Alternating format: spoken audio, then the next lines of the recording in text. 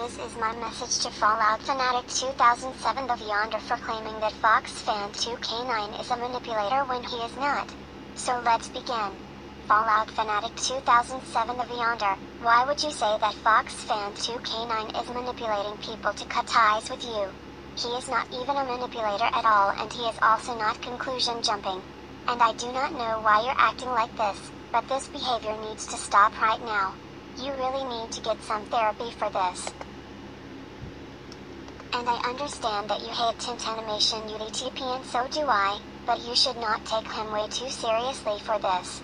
And Fox Fan 2K9 is not a manipulator and he is not a conclusion jumper at all. So therefore, Fox Fan 2K9 did not do anything wrong to you. So can you please get some therapy for this?